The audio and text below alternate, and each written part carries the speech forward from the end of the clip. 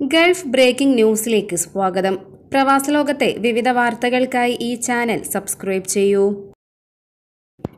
U എയിലെ ഉൾഭാഗങ്ങളിൽ നാൽപ്പത്തിമൂന്ന് degree Celsius ചൂട് അനുഭവപ്പെടുമെന്ന് നാഷണൽ സെന്റർ ഓഫ് മെട്രോളജി വിഭാഗം അറിയിച്ചു. അതേസമയം ഇന്ന് പകൽ സമയത്തെ തെളിഞ്ഞ കാലാവസ്ഥയായിരുന്നു രാജ്യത്ത് അനുഭവപ്പെട്ടത്. രാത്രിയോടുകൂടി തീരദേശത്തും പടിഞ്ഞാറൻ പ്രദേശങ്ങളും ചെറിയ തോതിൽ മേഘാവൃതമാകും. ലോകകപ്പ് കാണാൻ ഖത്തറിലെത്തുന്നവർക്കുള്ള താമസ സൗകര്യങ്ങൾ സജ്ജമാണെന്ന് സുപ്രീം കമ്മിറ്റി അറിയിച്ചു. ഒരു ലക്ഷത്തി മുപ്പതിനായിരം മുറികൾ സജ്ജമാണെന്ന് സുപ്രീം കമ്മിറ്റി വ്യക്തമാക്കി. എൺപത് ഡോളർ നിരക്കിലായിരിക്കും മുറികൾ ലഭ്യമാവുക. ഹോട്ടലുകൾ ആഡംബര കപ്പലുകൾ വില്ലകൾ അപ്പാർട്ട്മെന്റുകൾ എന്നിവിടങ്ങളിലായി മുറികൾ ഒരുക്കിയതായി അധികൃതർ അറിയിച്ചു. ആരാധകർക്ക് നിരവധി ഓപ്ഷനുകൾ ഉണ്ടാകുമെന്ന് ഖത്തർ രണ്ടായിരത്തി ഇരുപത്തിരണ്ട് സിഇഒ നാസർ അൽ ഖാത്തർ വ്യക്തമാക്കി. ആരാധകർക്ക് ഇപ്പോൾ തന്നെ ഒഫീഷ്യൽ പ്ലാറ്റ്ഫോം വഴി താമസ സൗകര്യം ബുക്ക് ചെയ്യാവുന്നതാണ്. വിശദവിവരങ്ങൾക്ക് ലിങ്ക് സന്ദർശിക്കാവുന്നതാണ്. പത്ത് ലക്ഷം ആരാധകർ ലോകകപ്പ് വേളയിൽ ഖത്തറിൽ എത്തുമെന്നാണ് പ്രതീക്ഷിക്കുന്നത്. ഏപ്രിൽ പതിനൊന്ന് മുതൽ ദോഹ മെട്രോ യാത്രക്കാർക്ക് മെട്രോ ലിങ്ക് സേവനങ്ങൾ ഉപയോഗിക്കുന്നതിന് സൗജന്യ ക്യു ടിക്കറ്റ് ആവശ്യമാണ്. കർവ ബസ് ആപ്പിൽ നിന്നും ഡൗൺലോഡ് ചെയ്താൽ metro link Q R ticket ലഭിക്കും. ക്യു ആർ ടിക്കറ്റ് ലഭിക്കുന്നതിനുള്ള ഘട്ടങ്ങൾ ഇനി പറയുന്നു. കർവ ബസ് ആപ്പ് ഇൻസ്റ്റാൾ ചെയ്ത് സൈൻ ഇൻ ചെയ്യുക. ബസ്സിൽ കയറുന്നതിന് മുമ്പ് ഒരു ഇ ടിക്കറ്റ് ഡൗൺലോഡ് ചെയ്യുക എന്ന ഓപ്ഷൻ തിരഞ്ഞെടുക്കുക. Metro link Q R ticket click ചെയ്യുക. ടിക്കറ്റ് ഒരു ഗോൾഡൻ ക്യു ആർ കോഡായി സ്ക്രീനിൽ പ്രദർശിപ്പിക്കും. ബസ്സിൽ പ്രവേശിക്കുമ്പോഴും പുറത്ത് കടക്കുമ്പോഴും ബസ് റീഡറിൽ ടിക്കറ്റ് സ്കാൻ ചെയ്യുക. സ്വൈപ്പ് ചെയ്യാവുന്ന ഹോം സ്ക്രീനിലോ ആപ്പിന്റെ കാർഡ് മാനേജ്മെന്റ് വിഭാഗത്തിലോ ക്യു കോഡ് ടിക്കറ്റ് ആക്സസ് ചെയ്യാം. ഫിഫ ലോകകപ്പ് നടക്കുന്ന സമയത്ത് രാജ്യത്തെ സ്വദേശികൾക്കും പ്രവാസികൾക്കും ഖത്തറിലേക്കുള്ള പ്രവേശനം വിലക്കുമെന്ന തരത്തിലുള്ള വാർത്തകൾ പ്രാദേശിക സംഘാടകർ നിഷേധിച്ചു. ലോകകപ്പിലെ മത്സരങ്ങളുടെ ദൈർഘ്യത്തിൽ മാറ്റം വരുത്താൻ പദ്ധതിയില്ലെന്നും ഫിഫ വ്യക്തമാക്കി. ലോകകപ്പ് സമയത്ത് രാജ്യത്തിന് പുറത്തു പോകുന്ന പ്രവാസികൾക്കും പൗരന്മാർക്കും തിരികെ പ്രവേശനാനുമതി ലഭിക്കില്ലെന്ന പ്രചാരണം വ്യാപകമാകുന്നതിനിടയിലാണ് സംഘാടകരുടെ ഔദ്യോഗിക സ്ഥിരീകരണം. രാജ്യത്തെ പ്രവാസികളും പൗരന്മാരും ലോകകപ്പിന്റെ സമയത്ത് വിദേശയാത്ര നടത്തുന്നതിൽ താൽപ്പര്യമില്ല. അവർ ലോകകപ്പ് കാണണമെന്നാണ് സുപ്രീം കമ്മിറ്റി ആഗ്രഹിക്കുന്നതെന്നും വ്യക്തമാക്കി. പക്ഷേ വിദേശയാത്ര നടത്തി തിരികെ എത്തുന്നവരെ വിലക്കില്ലെന്ന് ലോകകപ്പ് പ്രാദേശിക സംഘാടകരായ supreme committee for delivery and legacy ഔദ്യോഗിക വക്താവ് അറിയിച്ചു. ലോകകപ്പിനുള്ള എല്ലാ അന്തിമ തയ്യാറെടുപ്പുകളും പൂർത്തിയായിട്ടുണ്ട്. ടൂർണമെന്റിന്റെ സമയത്ത് സർക്കാർ വകുപ്പുകളിലെ പ്രവർത്തനങ്ങൾ സാധാരണ പോലെ തന്നെ തുടരും. അതേസമയം നവംബർ ഇരുപത്തൊന്ന് മുതൽ ഡിസംബർ പതിനെട്ട് വരെ നടക്കുന്ന ഫിഫ ലോകകപ്പിലെ മത്സരങ്ങളുടെ ദൈർഘ്യത്തിൽ മാറ്റം വരുത്താൻ പദ്ധതിയില്ലെന്നും ഫിഫ കൂട്ടിച്ചേർത്തു. പാസ്പോർട്ടിൽ പരസ്യ സ്റ്റിക്കറുകൾ പതിക്കുന്നതിനെതിരെ പ്രത്യേക നിർദ്ദേശവുമായി ദുബൈയിലെ ഇന്ത്യൻ കോൺസുലേറ്റ് ട്വിറ്ററിലൂടെയാണ് ഇത് സംബന്ധിച്ച അറിയിപ്പ് നൽകിയിരിക്കുന്നത്. പാസ്പോർട്ടുകൾ വികൃതമാക്കാൻ ആരെയും അനുവദിക്കരുതെന്നും ആവശ്യപ്പെട്ടിട്ടുണ്ട്. ഉത്തരവാദിത്തരഹിതമായി പെരുമാറുന്ന നിരവധി ട്രാവൽ ഏജന്റുമാർ പാസ്പോർട്ടുകളെ പരസ്യം പതിക്കാനുള്ള വസ്തുവായാണ് കണക്കാക്കുന്നതെന്ന് കോൺസുലേറ്റ് ആരോപിച്ചു. തങ്ങളുടെ ഏജൻസികളുടെയും കമ്പനികളുടെയും സ്റ്റിക്കറുകൾ പതിച്ച് പാസ്പോർട്ടുകളുടെ കവർ വികൃതമാക്കുകയാണ് ചെയ്യുന്നത്. ഇത് ഇന്ത്യൻ ഗവൺമെന്റ് പുറപ്പെടുവിച്ചിട്ടുള്ള നിർദ്ദേശങ്ങൾക്ക് വിരുദ്ധമാണ്.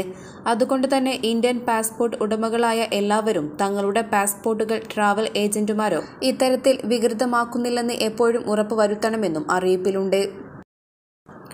സൗദി അറേബ്യയിലെ അൽ അഫ്ലാജിൽ ട്രക്ക് പാഞ്ഞ് കയറിയുണ്ടായ അപകടത്തിൽപ്പെട്ട് ഇന്ത്യക്കാരനടക്കം നാലു പേർ മരണപ്പെട്ടു. ലൈല അഫ്ലാജ് റിയാദ് റൂട്ടിൽ നടക്കുന്ന റോഡ് പണിക്കിടയിലേക്കായിരുന്നു ട്രക്ക് പാഞ്ഞ് കയറിയത്. കന്യാകുമാരി സ്വദേശിയാണ് മരിച്ച ഇന്ത്യക്കാരൻ. ഇദ്ദേഹത്തിന് പുറമെ രണ്ട് സുഡാനികളും ഒരു നേപ്പാൾ സ്വദേശിയുമാണ് മരണപ്പെട്ടത്. ഇത്തവണ അറുപത്തഞ്ച് വയസ്സിന് താഴെ പ്രായമുള്ളവർക്ക് മാത്രമായിരിക്കും ഹജ്ജിന് അനുമതി എന്ന് ഹജ്ജ് ഉംറ മന്ത്രാലയം അറിയിച്ചു.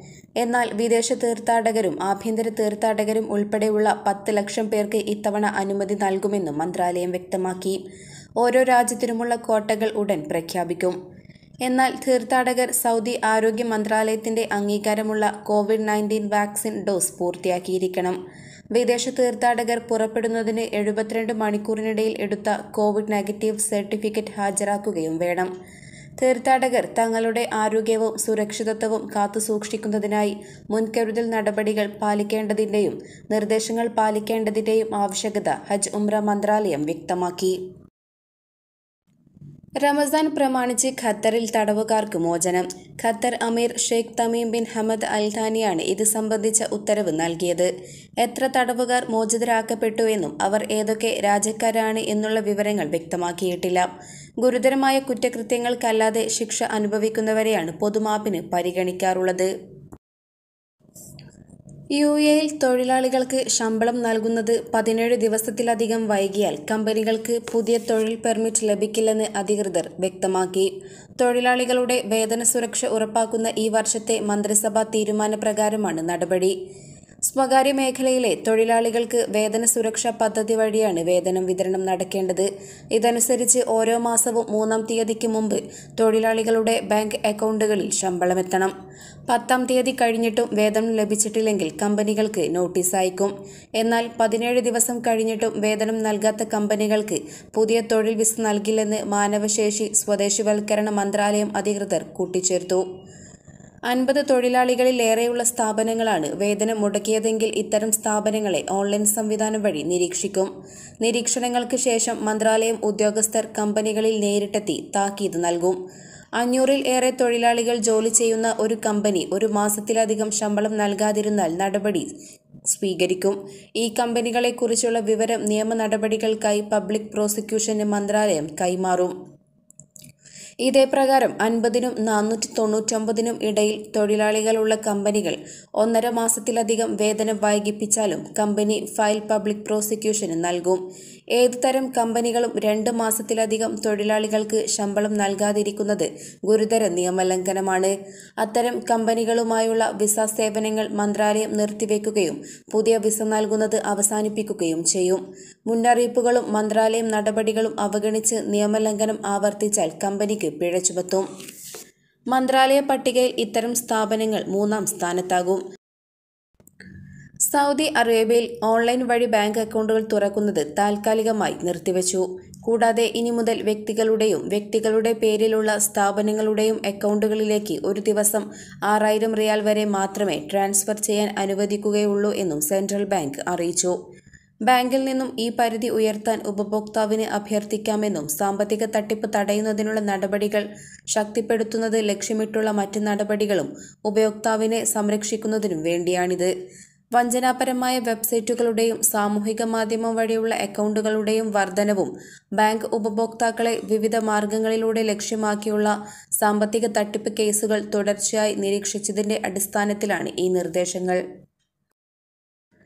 ഷാർജയിലേക്ക് പുറപ്പെടേണ്ട വിമാനം മുന്നറിയിപ്പില്ലാതെ അബുദാബിയിലേക്ക് മാറ്റിയതോടെ യാത്രക്കാർ പ്രയാസത്തിലായി. കണ്ണൂരിൽ നിന്നുള്ള ഗോ ഫസ്റ്റ് വിമാനമാണ് യാത്രക്കാരെ അറിയിക്കാതെ അബുദാബിയിലേക്ക് മാറ്റിയത്.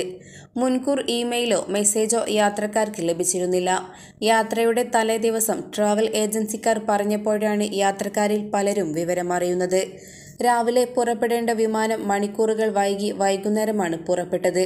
ഇതും യാത്രക്കാരെ ദുരിതത്തിലാക്കി. അബുദാബിയിൽ ഇറങ്ങിയ ശേഷം സ്വന്തം വാഹനം വിളിച്ചും ബസ്സിലുമായാണ് യാത്രക്കാർ ഷാർജയിൽ എത്തിയത്. എയർ ബബിൾ കരാറുമായി ബന്ധപ്പെട്ട സാങ്കേതികത്വം പറഞ്ഞാണ് വഴി തിരിച്ചുവിട്ടത്. മറ്റ് വിമാന കമ്പനികളുടെ ബസ്സുകൾ ദുബൈയിലേക്ക് ഉണ്ടായിരുന്നെങ്കിലും ഗോഫസ്റ്റിന്റെ ബസ് ലഭിച്ചില്ല. ഇതോടെ വൻതുക ടാക്സി നൽകിയാണ് പലരും മറ്റ് എമിറേറ്റുകളിലെ താമസ സ്ഥലങ്ങളിലേക്ക് പോയത്. അതേസമയം മറ്റ് ചില വിമാനങ്ങളും ഈ രീതിയിൽ വിമാനത്താവളങ്ങൾ മാറ്റുന്നുണ്ട്. മാർച്ച് ഇരുപത്തിയേഴ് മുതൽ എയർ ബബിൾ കരാർ അവസാനിച്ചതോടെ സർവീസുകൾ റീഷെഡ്യൂൾ ചെയ്യുന്നതാണ് പ്രശ്നത്തിന് കാരണം. എന്നാൽ വിമാന കമ്പനികൾ മുൻകൂട്ടി വിവരം അറിയിക്കാത്തതാണ് യാത്രക്കാരെ പ്രയാസത്തിലാക്കുന്നത്. ഇതോടെ ഇന്നത്തെ വാർത്തകൾ അവസാനിക്കുന്നു. പുതിയ വാർത്തകളുമായി വീണ്ടും കാണുന്നതുവരെ നന്ദി നമസ്കാരം.